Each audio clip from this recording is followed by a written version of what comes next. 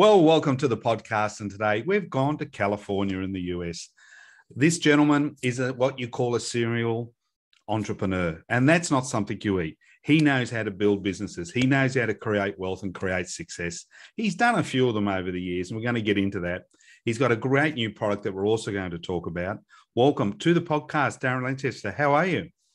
Uh, thank you. I'm great. I'm great, Rob. And man, thanks for that. That's an amazing intro. I hope I can back it up. Mate, I'm sure you can. I'm sure you can. Look, we say that success leaves hints, it leaves a trail. So I'm going to say to you, where did your trail start? Where did you grow up? well, I mean, I was born in Texas, but I spent maybe, uh, you know, a minute or two there. Yep. And then uh, my parents are both uh, musicians. We were on the road for the first four or five years of my life um, probably a bit of the sort of creative uh, aspects of what's in me is you know come through that through that mm. path but eventually they settled down in lake tahoe mm. um, up in the mountains and so i pretty much grew up on dirt bikes and on the slopes and skiing and racing and being outdoors and being active so you know that was kind of the the, the, the life i grew up in now i'm pretty sure i'm going to know the answer to this question, but I'm going to ask it anyway. What were you like at school? um, you know, so it was a it, it was a transformation like middle school to high school. I really I was pretty, I, w- I was kind of like, uh, you know, band in the shadows. Like I didn't really, really want to stand out that much. And, um, you know, I let sort of uh, had my hobbies and my sports, but you know, other than that, I didn't really stand out. Then I got to college and sort of figured out, hmm, maybe I got some game here. So uh, college started becoming a little bit different for me, and and to the point where you know I have a computer engineering degree, and I would be hanging around with you know friends, and they get to know me over the course of weeks or months, and then eventually it circles around to like, what is your major anyway? And you know say well i'm studying computer engineering like that's really funny. No no tell me for sure like what tell me for real what your major is. Most people when i ask them what their major was in college they say social life. So it's right. I mean that's that's really the uh, main value i got out of it. It was it's a shame because of as you know covid's around the world. I spoke to a mate of mine's son who started uni got seven months into uni and COVID hit. He never mm-hmm. saw his class again. Mm-hmm. He went back on graduation day. And I said to him, You probably missed the most important part of uni is learning how to socialize and interact with people from all over the world and all different uh, um, types of people. And he looked at me and went, Yeah, you're probably right. So they've come out of uni now without the social skills. And yeah. they're saying there's going to be two or three years of these kids coming through you've been a serial entrepreneur. How hard and or how important do you think it was with those social skills when you were starting out in your early life as a, as a CEO and trying to you know, make a name for yourself? Yeah, it's you know knowing how to work with others, how to mm. collaborate. Mm. Um, that we can't do it on our own. Mm. You know, it's I've seen that in my own kids that this struggle of how far they'll push themselves by themselves before they you know realize hey it's okay to trust others and like needing help isn't weakness and um you know so i i, I can't say necessarily that i know that's an outcome right mm-hmm. from i mean that they've probably picked up other skills and assets that we won't know for years that hmm. that are positives from this. Um, certainly, learning how to work with people remote and uh, yes, true, very true. You, you know uh, how to find happiness in quiet space because boy, we all had a lot of quiet space for months. But yeah, I think that's got to be got to be an issue, you know, of, hmm. of and I like I said, I see it. I see it with my kids. I have to sort of really reinforce with them that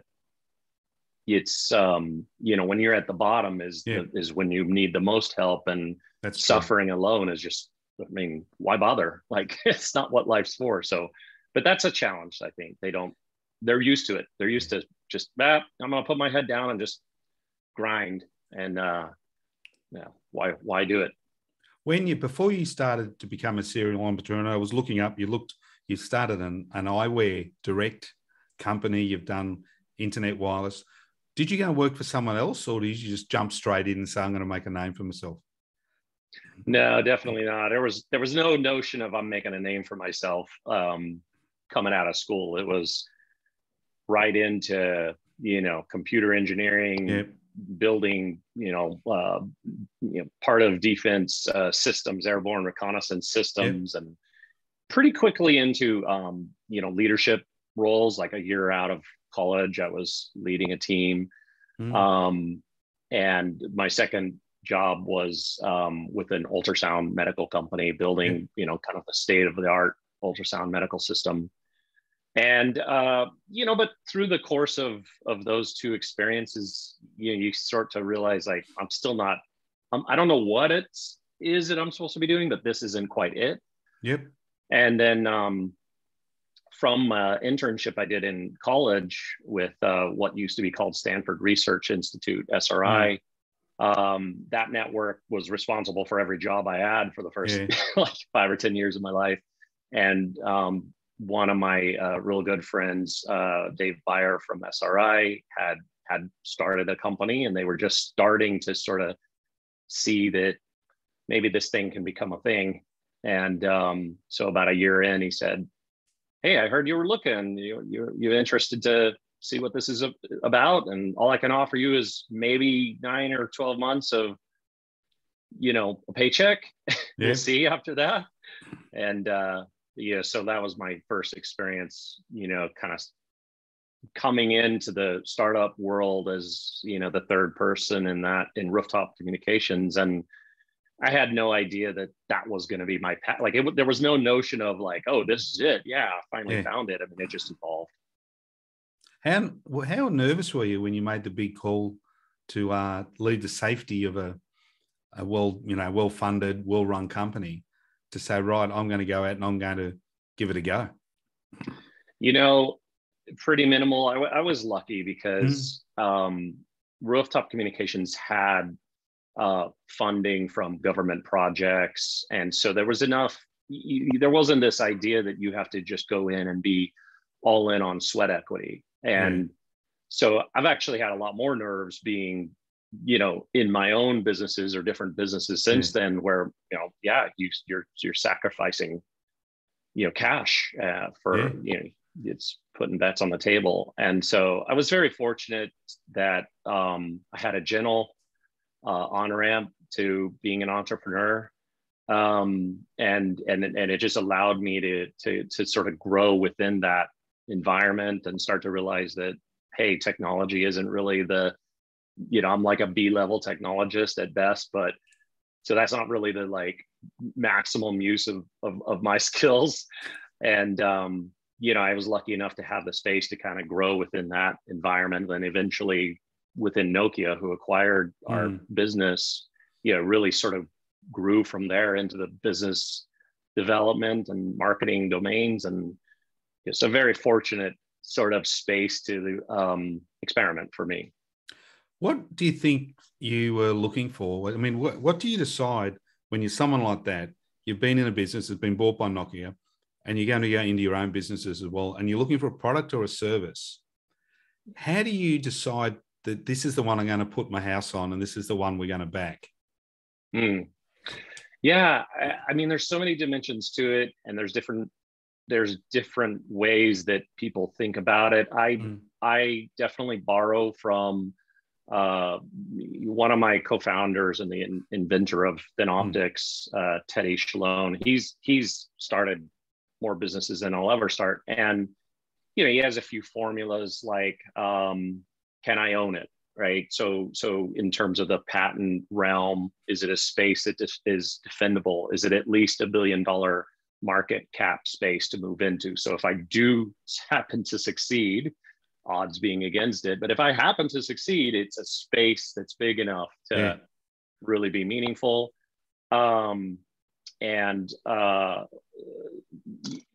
I guess there's a lot that you you really experiment into in terms of of, of understanding um, the the role, right? The role of that product in people's lives. And that's something that's hard to know, you know, coming out. So you, you can't really validate that. That's more experimentation, I'd say. But but that you know you can produce it. You know the economics mm. seem reasonably okay that that that some margin can be there that supports this being a viable business. But you know there's only so far you can go and then you just have to start taking steps by steps by steps that are experimental they're incremental and and um, you know each time you're taking those steps being open to the idea that hey if you get negative data good better to get it now than later and and if this thing needs to be killed before you invest too much into it good like that's a good thing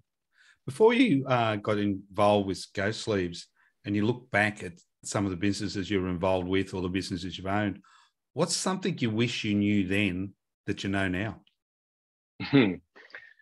Yeah, I think what I just said about the the the incremental nature of of these yeah. businesses and even even when you have and you're at a point where you know you've got product market customer fit you know there's validation that um i mean i don't know if you're familiar with like the traction and the entrepreneur's operating system, but they have this concept of a minimum viable product, an MVP. It's like, what's the bare minimum we could build and invest so that we can just get in the game and yeah. start learning?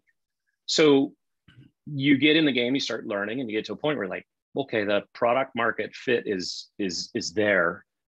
And even at that point, you still don't know what the business is meant to do or be yeah. And it's shocking. I mean, it's most investors, most stakeholders expect us entrepreneurs to be, you know, five year uh, plans and omnipotence, and it's just not it's not possible. And so, you know, it's to me, it's like birthing a baby and just declaring on day one, this this this this kid's going to be a doctor. Going to grow up to be a doctor. I just happen. know it. It's happening. It's going to be a doctor, right? I mean, as crazy as that sounds, that's the anticipation or expectation that is put on businesses uh, by a lot of the especially like institutional yeah. money that's put yeah. into these things and so uh, i've had to live by those constraints and i've seen what it does and it and it sometimes uh, constrains what businesses really can do because the expectation is it needs to be here the reality is it's maybe not going to be on that trajectory. It's yeah. going to be something else.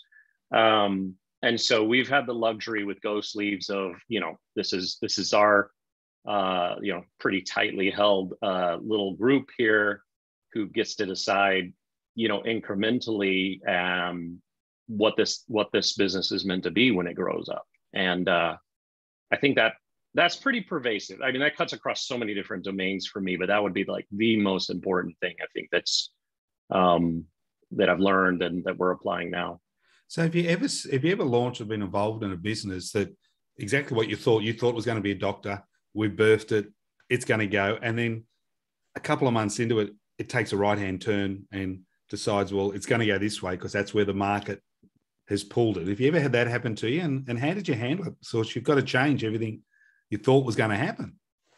Yeah. Well, so uh, my first startup, that was the experience. We, mm.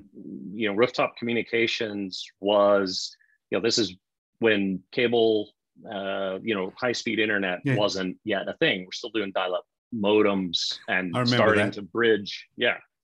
Starting to bridge into copper and all of these things. And um, so here we are building this the next generation wireless mesh networking topology. Yeah. It's just a different, more robust way to build out a wireless network.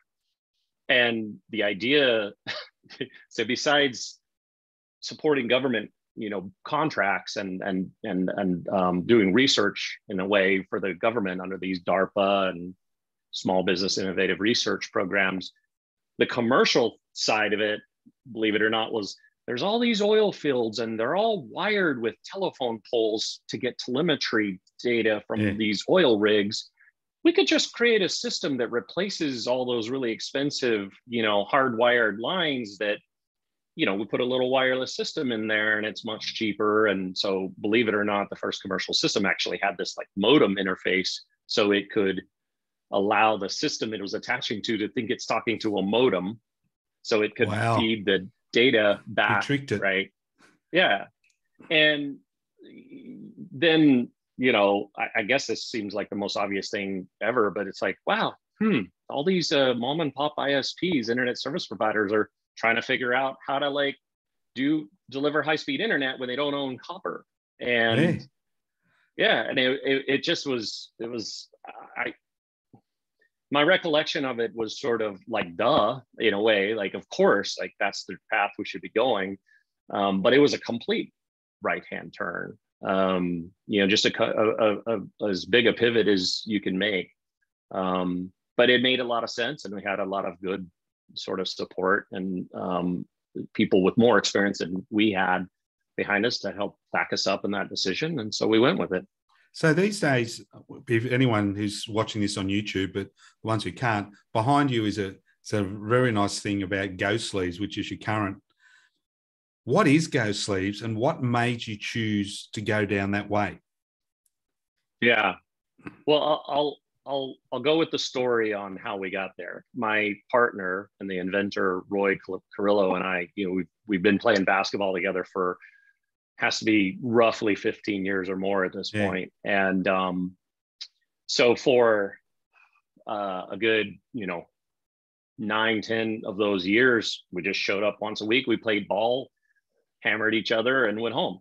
Yeah. And, uh, but, you know, over those years, you start to see more and more breakdowns, and guys aren't showing up, and injuries, or, you know, I'm taping up, or I'm taken naproxen so I can actually just play pain free. I mean, what whatever whatever the issue was, and um, that really, you know, for Roy in particular was like, you know, his experience with trying to keep his body in the game really was was was the sort of starting point for mm. it. We actually did. Um, we worked in thin optics together first, um, and so eight or nine years into playing ball, one day we started talking business, and I said, you know, I'm, I'm, working. I've helped co-found Thin Optics. This thing is really taking off. Uh, like it's it's growing so exponentially that we can't stay on top of our customer support and and it's like well turns out i'm pretty good at that stuff and so um, he joined us at Thin Optics and and we worked and learned together what each other is capable of what we kept meeting yeah. each other on the court. Yeah true. And then uh, when it was time to uh, you know switch gears i started a marketing agency you know help other brands with digital yeah. and social marketing.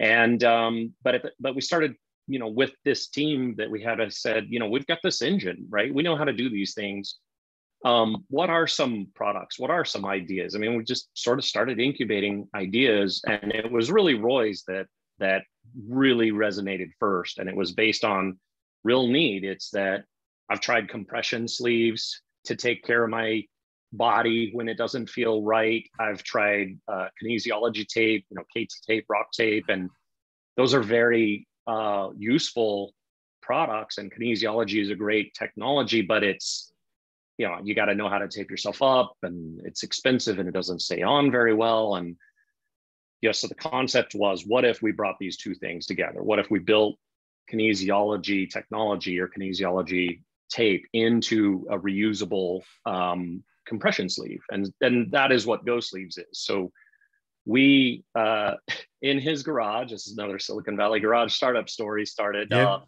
prototyping sleeves and he'd wear them and and the other guys on the basketball court became the guinea pigs. And uh, you know let's just find out especially with knee injuries we started there and understanding um, how we can do a better job to support the muscles and ligaments and tendons around the knee. Um, but then once we learned more about how kinesiology works we realized uh, it's it's it's actually a really powerful recovery tool. So like um, the calf sleeves that we have target the Achilles tendon, the calf muscle, and the shin splints, and you may or may not need them when you're active or engaged in an activity, but if your body feels fatigued, achy at all, well, kinesiology is a mechanism to offset that and accelerate the recovery so that the next time you go back out, you're more fully uh, fully recovered from that fatigue. And that has performance benefits. It has injury prevention benefits. Um, you know so the incremental learning is was along those lines like this will be a much better support mechanism than we realized it's way more than that. So today people working longer they're not retiring earlier. They're actually retiring much later or not retiring at all. Covid taught us one thing is that we needed to get off our couches stop watching the footy get out and walk around because you know it's better for the body so something like this is better, especially as people get older, to be able to, and if, and especially you know, I've spoken to people who were top grade athletes, they hit 40 and they've got the body of an 80 year old. Yeah. You know, their body is really, really giving them a hard time. If someone's looking at this and going, well, what is kinesiology versus a blue compression bag I can go and get down at the chemist anytime and it looks good and it gives you maybe a mental ability to think, you know, I'm looking after my knee what is the hmm. biggest difference between what you guys are supplying versus the traditional blue or black compression bandage or compression sleeve that you see most of the uh, footballers and tennis players using? Yeah, yeah, it's a great question. Uh, generally, when you're just looking at a compression hmm. sleeve, whether it's on a arm or a knee, hmm. um, you know it's just there primarily it's going to be there for support and yeah. and you know it's doing what you it's doing what the word says it's compressing you know kind of keeping everything as supported as possible hmm. a little bit of circulatory benefit um but you know that's about the extent of it and one of the challenges with say a knee sleeve that is you know if your need is I've had maybe histories of uh, history of knee issues. To your point, you know, I'm I'm 40, but my knee is 65. Um, you might have some bone on bone type of hmm. osteoarthritis mm. issues. You might have um, an MCL or an ACL previous injury. So it's, you know, uh, the, the knee has been compromised. So it needs extra support. And the challenge with sleeves that are trying to provide support is they, you know, to provide it adequately, it needs to be tight maybe that leads to a material that's not very breathable, like a neoprene. So all of a sudden you've got this True. thing strangling your knee. It smells bad. It doesn't move well. It slides around. Um, that's challenge. You know, that's that's the challenge. And um, you know what we've done. Our our you know this is for anybody who's on YouTube, but I'll try to describe it. But the sleeve looks like any other sleeve until you turn it inside out. Yeah. And when you turn it inside out and you look at the inside, you can see here's the at the center of the sleeve is your kneecap and then all around it are these kinesiology strips that are yeah. really trying to connect and support all the key muscles ligaments and tendons. And when you stretch this sleeve you can see the strips the the kinesiology strips are stretching and you lay that down on your skin. And instead of compressing it's actually doing the opposites. It's lifting and creating space in the skin tissues.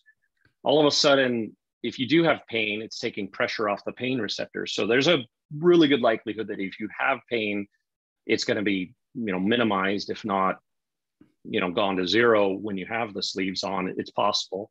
Um, any inflammation that you have by lifting uh, mm. the skin and creating space, we're flushing that area with extra blood. It's sucking blood into that area.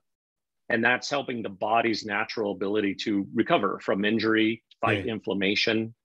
If you're not injured, um, then it's actually that that that extra blood flow and improved lymphatic drainage is again, it's what the body does to recover from fatigue or to fight fatigue, whether you're in an activity or you're after. And so it's it's it's not just a supporting mechanism and a superior supporting mechanism. It's a completely different paradigm from what's out there now because it's doing the opposite of compression, really. We're not about compression. We just want a nice snug fit yeah. so that the kinesiology can do its work. Um, so it's it's it's really a pr- profound change. And I want to go back to what you said before about people moving. Yeah. I mean, my parents were just like everybody else, uh, locked in their house for the most part for a couple years. Yep and boy, you know, between my dad's hips and IT band and his knee, and you know, his body just started absolutely conspiring against him over the last three months. And what was the answer? Really, there's there was no medical need per se, other than getting in the pool with a physical therapist and moving. Yeah, That's it. true. I mean, true, you just needed to be moving, and our bodies are not meant to be stationary. And you know, so when Roy and I created these products, the initial idea was whatever you're capable of doing, whatever that movement is, whatever that peak is that you're capable of, like, let's get you there because movement is everything. There'll be a lot of people listening to this going, I've got a product, I've got an idea that I want to launch.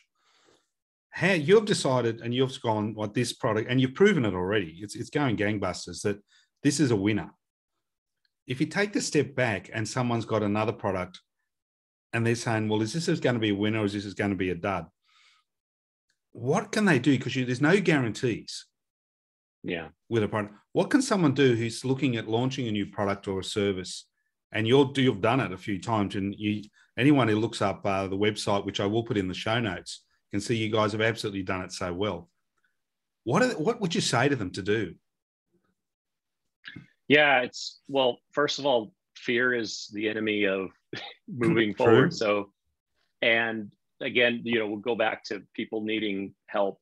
Yeah. So, you know, if you've got the idea, um, just incrementally step forward and don't fear what you don't know. I mean, we we we're all not meant to go build a business by ourselves. That's that's not the point. Like, we don't have the skills to do it, and we probably wouldn't enjoy that much. So, you know, it's all about who do you have in your network who might have some interest to Mhm. help you untangle this thing and pull on the threads. You know, pull on Yeah. one thread at a time. You know, and don't be afraid of you know, there's what you do know, and I'm passionate about this. I feel like I'm dead on on this. Well, that's fine.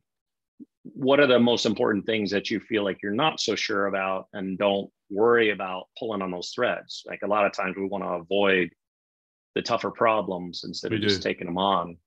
So I think getting some help, you know, getting some expertise around you that can help you pull on those threads incrementally, it starts to reduce the fear.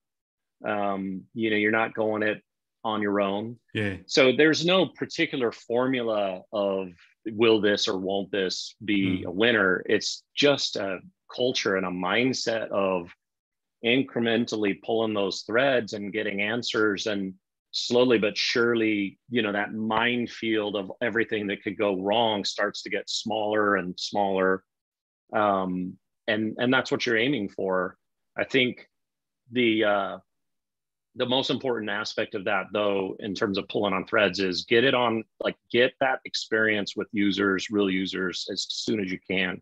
You know don't be afraid of oh i'm gonna you know the secret's gonna be out and i mean the, the, your your odds of getting killed by someone else doing it before you are much lower than your odds of getting killed because you launched something that's not right because you didn't work with customers or users to learn you, You know, a sometimes it's not- can you? yeah, I mean, and sometimes it's not will the product, oh, I know the product will work. Okay, great. But do you know what your users like what what Hmm. needs it'll solve and exactly how they'll talk about it? Like, do you know how you're gonna convey to them what this is about? Well, not until you actually, you know, go with live ammo, if you will. So um, you know, I- that's that's again this concept behind this minimum viable product. Like, get that get the minimum built and get it out there and start to learn as quickly as you can. Now, you've been involved with an email software company, you've been involved with digital and marketing and everywhere. We're post COVID, we're coming out. How people buy is changing again, where everyone went to online because a lot of the shops were shut. And the data coming out now is people are swinging back to a- not as much, but as a mix of online and uh, going into the bricks and mortar store.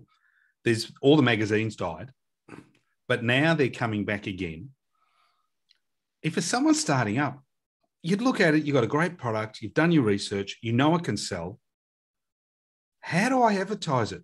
How do I get my bang for buck? Because a lot of companies starting out now don't have a huge, or they've got someone there who doesn't understand the digital marketing side. From someone who's done both and still does both, what would you say to someone? How, where should they start and how should they test the market to know where they should be spending their marketing or their advertising dollar? Yeah. I mean, I'm going to come at it from the perspective of of you know what my life has always been, cool. which is yeah. not having enough cash to go spray and pray. Yeah. Um, you know, so there are we've all seen them. There's products on TV. They're um, you know, they they used to be at called as seen on TV products, yes, and yeah. and and that strategy comes from companies who rarely ever create the idea of the product. Mm. They just see something that might have a possibility of working. They make a deal with the entrepreneur to give them, you know, two cents of every dollar that they're going to make. But hey, when this thing is big, you know, you'd like to have a small slice of something big than a big slice of nothing, right? So the entrepreneur says, sure. And then they go spray and pray. I mean, they, they, but they have retail space. They throw it in retail stores and then they have a massive budget that they can test for TV advertising and, and they have a recipe and it works. But most of us don't have that ammunition no. at our backs, right? So, you know, my perspective and just what I've honed over the years is you know, your best way to kind of have combat that with very uh, cost effective learning mechanisms is is a mix of online and offline. And so Go Sleeves right now is generally not available in retail, and that's by design. I mean, we yeah. know where we need to get to to set the stage for retail to be successful, and we don't have any interest in going there too soon because I've seen what that looks like. Um, and so you build the um, you, you build the store online, right? And online these days isn't just your website; it's also all of these other third-party places. Um, you know, Walmart.com and hmm. Amazon and Jet.com. I mean, the, you know, you got to make it easy for people to go find and research you. But to your point, like we're all we're, we're still social beings, mm. and anything new. So so why are we not in retail? Because Go Sleeves aren't very cheap to manufacture. And so they're a premium price to what you would see in a Dick's Sporting Goods. And so if you walk into Dick's Sporting Goods and you see this product and you see, you know, something, you know, half that price, you're going to be looking pretty hard at that lower mm. cost product unless you know something specific about why this product is superior, right? And so you know it's challenging to win in that environment but if you walk into a store and someone and you ask someone a question and let's say it's a specialty running store and oh you know i've got this problem with shin splints and man they really you know or my achilles gets so tight is there something i can do? And someone actually knowledgeable you know more of an assisted sale scenario says yeah actually i've seen this product on other athletes. Like there's Olympians that are training and recovering in this uh, product. Yeah. You know, and they can tell that story. Yeah. Well, all of a sudden now you can compete. And so um, you, you, what I found and what our mix is is we get out there in person at events. Like a year ago, we started doing running events, um, trail running events, getting connected to the sort of top competitors in a really really difficult sport trail running with massive elevations and so on and and learning like learning from them and that they knew we were just there you know educating them and then seeing what they did with the product. It really sort of lowers their uh, deflector shields if you will. Their their and and when they have a good experience and and they're able to tell you what what's happening and what they're learning they instantly feel like they're part of it and so you're able to blend what you're doing online where you don't necessarily know or connect with people to building this community and building this tribe offline by being at events and connecting with people and building a network of, of, of influencers who you know influence runners or influence crossfit yeah. athletes whatever the sport is and yeah we found that mix is a great way to you know build the brand in a very um, cost effective way so that then it sort of is worthy of investing in going into retail. I suppose you're looking at sustainability rather than a huge amount of sales and then nothing. I mean, sometimes a slow burn is going to give you a lot better return on your investment, which is, I mean, let's be honest, that's what we're here for. We're here to make money, be success, and uh, live comfortably when we say decide to. So there's no use just going out there with a big bang and then it's all over, Red Rover. Uh, that's, I mean, I've seen it. yes, we've all seen it, and it's, uh, it's, it's not fun. I mean, and it's the reason that, um, I mean, we're fortunate enough to have figured out how to network to a group of investors who trust us and trust the pace and trust them like we always have a strategy we always have metrics for what we're trying to achieve in a certain time frame and they believe that if we follow that strategy and achieve those metrics that we'll be successful. And i can say that probably the metrics that we talk about are would be underwhelming perhaps to a lot of institutional yeah. investors. And fair enough like i mean they got to be swinging for the fences. They don't have a whole lot of patience. I mean they're they're they're they just need a one in 10 even a one in 20 if the other 19 if we push it too hard and they burn out so be it you know yeah. no big deal but you know if it's your baby uh, you want to like gestate and mature it yeah. at its pace and learn and um to your point like the growth and the sales uh, for us, especially launching right before COVID. I mean, imagine we yeah. launched January 2020. So I'd like to see some stats you know? on businesses it's, launched in yeah. the first quarter of 2020 and how many are still around, right? So, I mean, you know, had we had investors breathing down our necks to succeed in 2020 with sales growth, we'd be done. Yeah, it, it's funny, but uh, some of the most unusual companies absolutely took it and ran with it and have, have been so successful. And some of the ones you thought you wouldn't, you know. Before we wind up, a couple of good questions. What would you say to a young entrepreneur that pulled you up in the street and said, mate, what's the best piece of advice you can give me? Hmm. You know, again, I'm going to come from it from my background of of no matter who you are mm. and hmm. what your skill set is learn how to connect with people like learn marketing just at, just at least enough to so that you know how to plug in people who really really know marketing and not to sort of tie one hand behind their back and have them you know go out and battle and like uh, uh this is this is the bible that's always one one uh arm length away from me but th- but this this uh, Lovemarks um, yeah. book that you know really like Kevin Roberts, you know the Saatchi and Saatchi, yeah. um, uh, in you know stalwart. This book, I mean, it's not new, but and actually, here for for for those of us who maybe don't have marketing as their number one uh, idea of where they want to spend time on, it's a lot of pictures in this book. so it's actually fun to read, even if you're not into marketing. So call it a picture book. Read that. Well, if you're a visual right? person, like, you know, it's not yeah. everyone is into uh, spreadsheets and uh, you know powerpoints. So if a visual person, it'll work for you.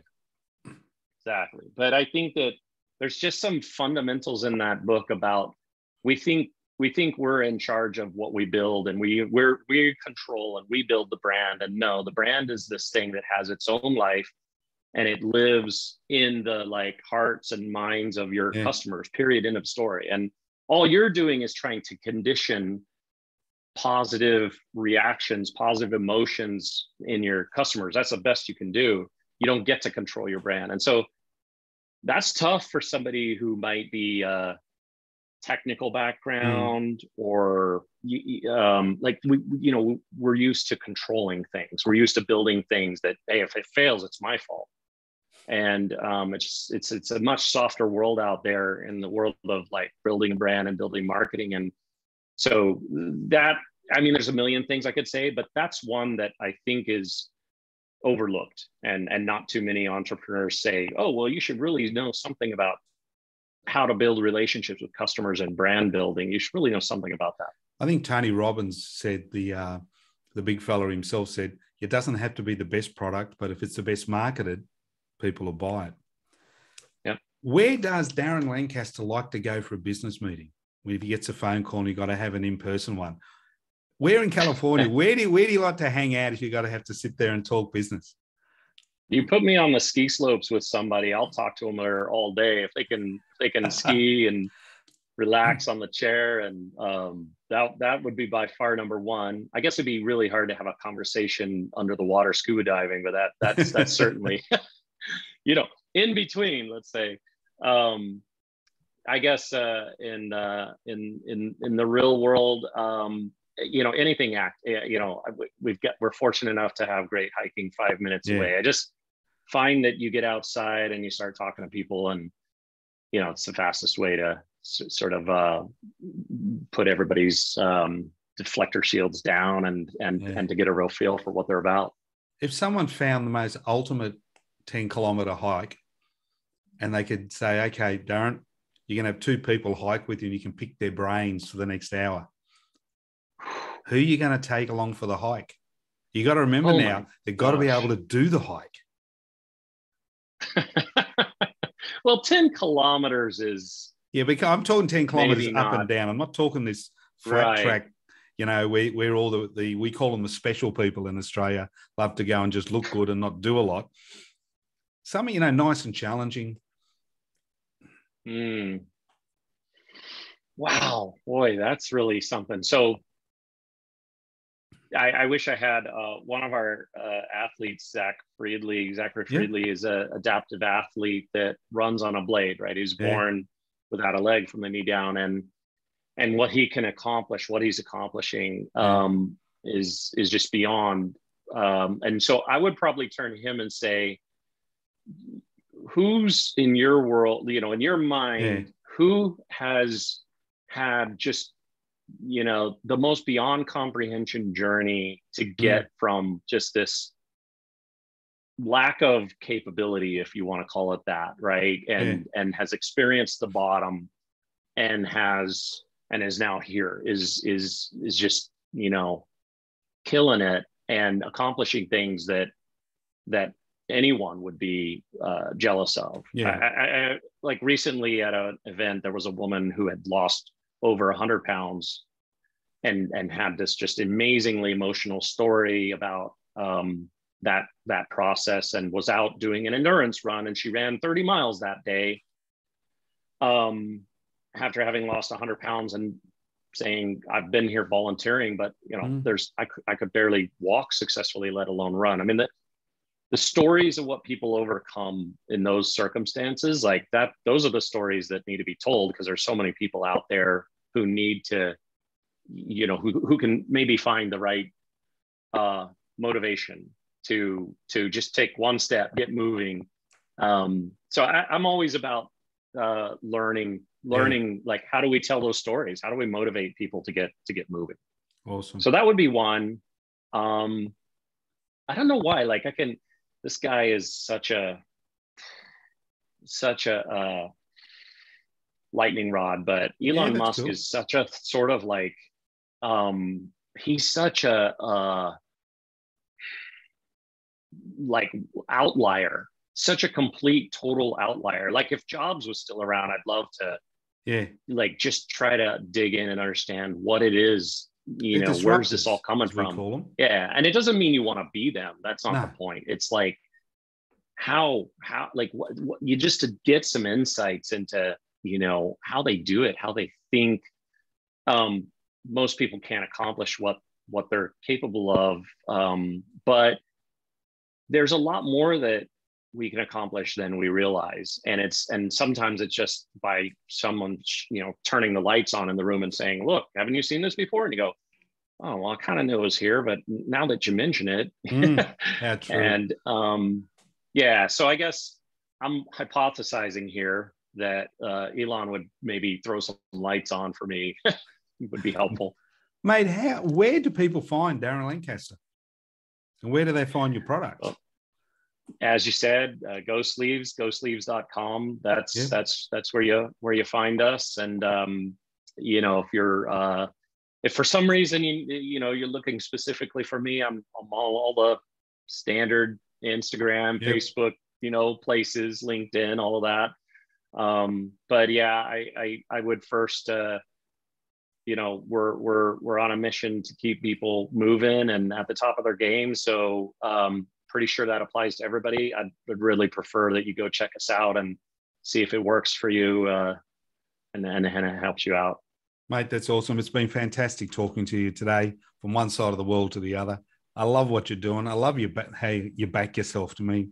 That that to me is everything. Uh, absolutely fantastic. You take care, and as we say at the end of every one of our podcasts, have a groovy day.